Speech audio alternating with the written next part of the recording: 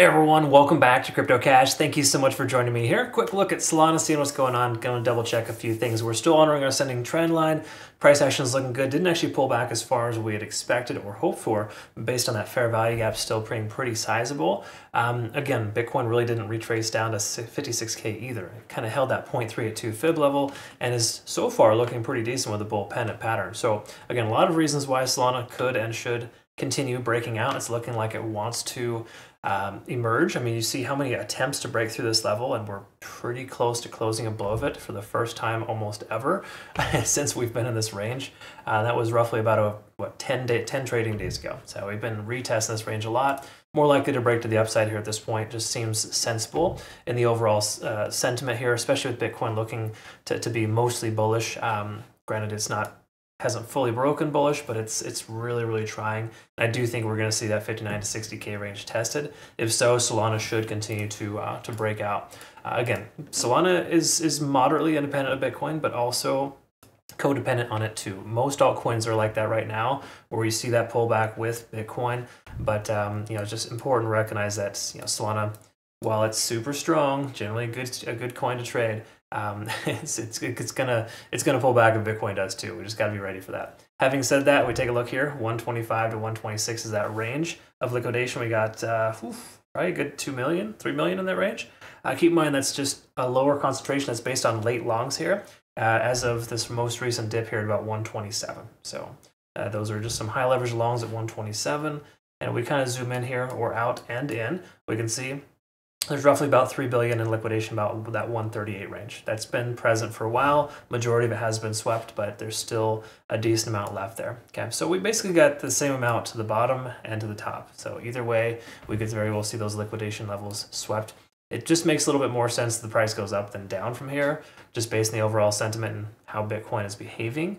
But once more different scenarios altogether depending on the overall situation. So what we're seeing here so far is pretty positive uh, really quick, another positive thing, make sure you reference this too, BTCC folks. Excellent exchange, link down below, check them out. Uh, there's a newer partnered exchange mainly because they offer no KYC or VPN requirements. So I highly recommend you checking them out, seeing if you like them. It's a good alternative if you're you know looking for a secondary exchange. Like BitUnix, for example, I love them. Um, they're awesome for day trading or swing trading, but sometimes it's recommended to have two different portfolios for day trading or swing trading so you don't merge the two together. So that's exactly why I like to recommend a secondary exchange for that. Just so you can keep it separate, it's a lot easier. It's harder to save money if you have access to it all the time, right? So again, consider that. Uh, either way, let's take a look here at the daily and work our way down. See what Solana is telling us here. We have heavy liquidation to the upside. We've known this for a while. We're going to go ahead and just you know, understand that that's still present, 138 to 140.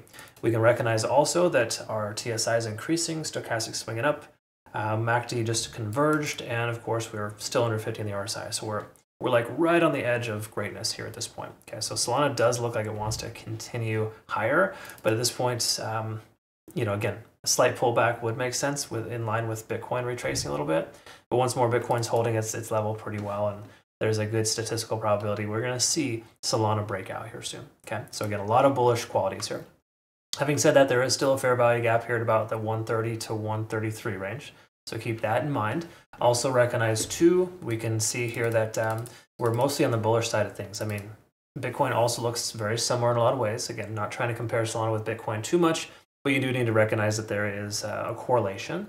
Same thing here, um, very similar scenario where we have RSI swinging up, money flow index looking good, stochastic swinging up as well, MACD high, TSI upwards. Um, it's it's all looking very very positive. We take a look at the moving averages here too. We can see the 20 and the the 50 day SMA essentially converging here, holding strong at that level at about 130. So to me personally, if Solana does pull back, I feel I still feel like 130 is going to be the new low, based on the simple sense that we have a strong um, potential resistance there at 130. At least, sorry, the, the recent resistance, that range it was stuck within, is now broken. If we come back down to retest it and fill this gap, we'll probably see a bounce off that level. It should be the new support. That's generally how that's supposed to work. So just keep in mind, I think 130 would be a solid consideration. I'm rounding down a little, more like 131, 132. I'm going to set an alert in this range in case the price does pull back for Bitcoin and Solana retraces a little bit. That seems like a very sensible area in which you might want to consider a long position. Do you want to short to that level? Definitely not. This is not really short worthy. We got some pretty nice, you know, this, this pattern's looking pretty strong here. and uh, it does look like it would probably be more likely to, to, to break to the upside here based on this pattern. Is generally do break to the upside when you see that kind of uh, continuation. Having said that, let's look, look, look at the Ichimoku cloud and confirm all green lights, good to go here. No reason to consider a short position. Everything's looking pretty strong. So I like what I see here from Solana. It's looking absolutely very, very good. And there's nothing here really telling us that we should experience a price action to pull back. Once again, Bitcoin retraces a little bit, which it is doing so far right now, then we will see that from Solana too. So just keep that in mind, okay? So all in all, that is roughly where we're at here with this coin. Definitely looking pretty good. I think uh, it's got my thumbs up for more likelihood to, to increase from here than decrease. But me personally, again, not trying to buy the top.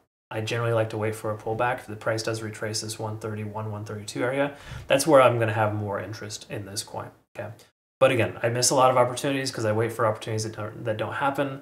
But in turn, I generally um, do not get into trades that are you know are, are terrible right they're less likely to because of waiting for confirmation so again a lot of reasons why uh, it might be advantageous to consider being patient here but also recognizing that solana is very strong and it's more likely to go up than down all right that's kind of where we're at. I hope that makes sense and i described that correctly. Thank you again so much for watching. Don't forget to reference btcc excellent exchange. Awesome rewards here for it. Otherwise i look forward to seeing the next one. Have a great rest of your day. Take care. Thank you